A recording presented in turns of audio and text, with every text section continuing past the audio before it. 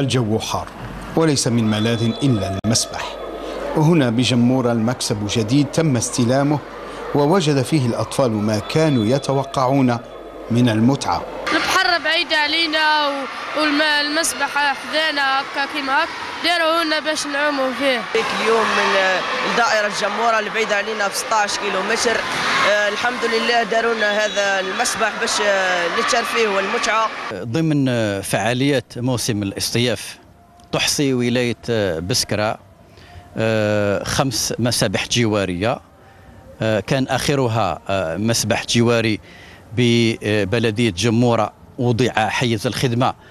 استفادت بسكرة من حصة 850 ضمن برنامج الخاص بوزارة الشباب والرياضة. وجهة البسكريين وحتى الضيوف حظيرة المياه المنعشة هنا يختار الأطفال والشباب وسائل الانزلاق الآمنة. اخترنا هذه الوجهة لجمال المكان وجمال الحديقة وسمعنا عنها الكثير. نفضلوا بعد العصر العصر إنه السخانة تهبط شوية. نجوا هنايا الأولاد يستمتعوا بالماء يلعبوا يشتوا يعوموا كذا لعبنا ألعاب بزاف لعبنا آه، لقينا المسابح بزاف.